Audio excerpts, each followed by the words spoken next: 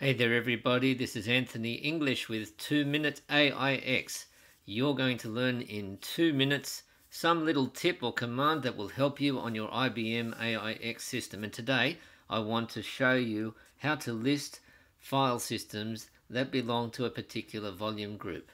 Now, usually people will do that using something like this, LSVG minus L and the volume group name and that gives you the logical volumes here. It tells you what kind are. These are JFS2 and there are the mount points. And that's really what we're interested in is the mount points.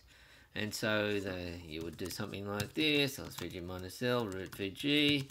And then of course we only want to get the uh, JFS2 or JFS file systems so that will get them both and then we can print and yeah it's all pretty messy, isn't it? And then how many fields are there? Are? Well, we'll just do the number of fields there.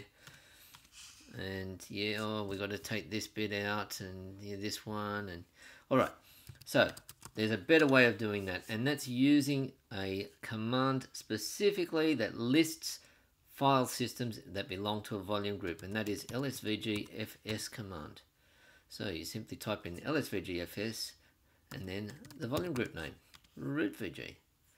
I've got a second volume group on this called data VG. So LSVGFS, data VG.